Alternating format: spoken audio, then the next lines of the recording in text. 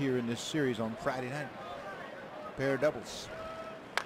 There's a drive. This is trouble. This ball is home run. Indeed, it's a home run. So Dalton Pompey credited with a home run, his first of the season, and the Blue Jays have taken a 2 0 lead.